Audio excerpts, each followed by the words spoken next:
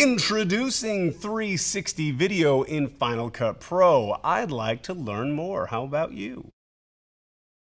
If you haven't already, be sure to check out our previous tutorial covering how to import and format 360 media, linked in the description below. Once you've imported your footage, you can create a new 360 project. Start by selecting the event where you'd like to create your project.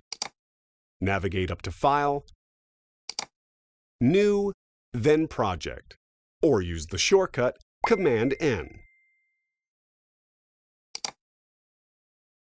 The Project Settings window will appear in the center of the screen. Here, you can enter a name for your project and adjust the available project settings. If your video settings are set to automatic, your project settings will be based on the first video clip you bring into your project.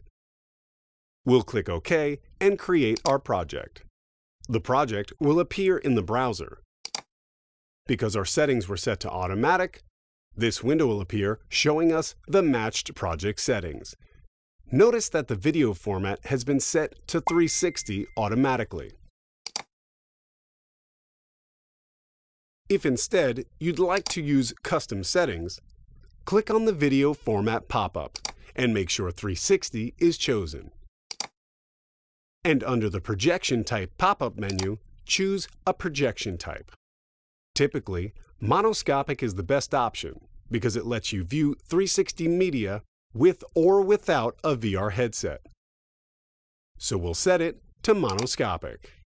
Next, just click OK to create the project. Here's another helpful workaround if you're interested. We can also quickly create a 360 project from a clip directly in the browser.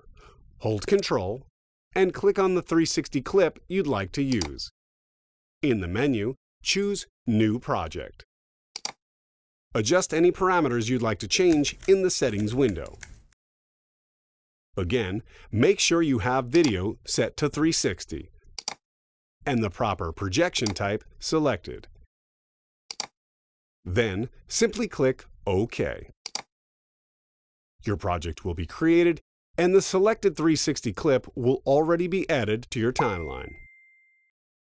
Now, you know all the different ways to create a 360 project. Stay tuned for the next video where we'll dive into the basics of how to view and navigate in the 360 video workspace.